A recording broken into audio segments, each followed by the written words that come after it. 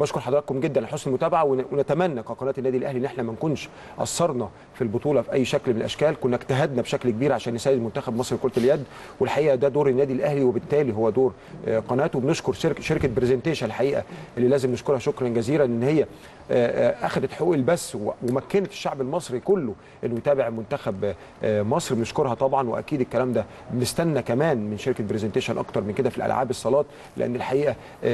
يعني ده دور كبير هي بتقول تقوم بيه